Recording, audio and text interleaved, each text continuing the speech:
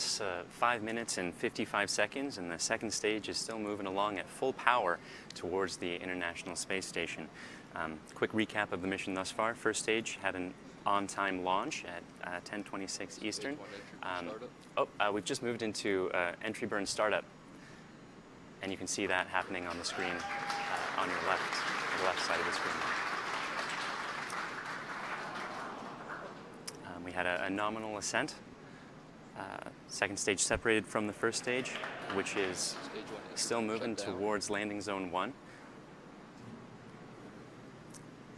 Uh, the Dragon nose cone uh, was deployed. And power and trajectory are both still looking good on stage two.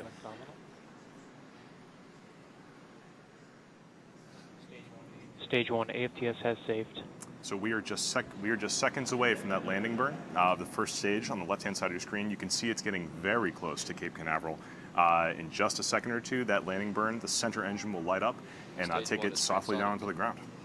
Yes, we should be seeing that in just a couple of seconds. Uh, we're just past T plus seven on the right-hand side, second stage as it's carrying Dragon spacecraft towards the International Space Station, our primary mission. Uh, but on the left-hand side, let's tune in and watch this landing burn.